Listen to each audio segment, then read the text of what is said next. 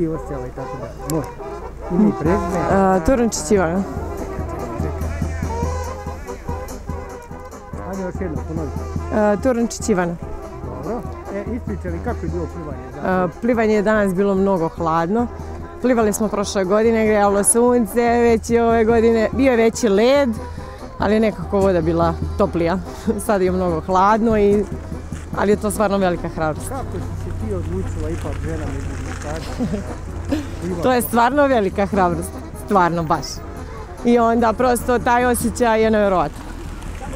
Se trebaš i za naredne godine. da? Da, svake godine ću plivati ako Bog da.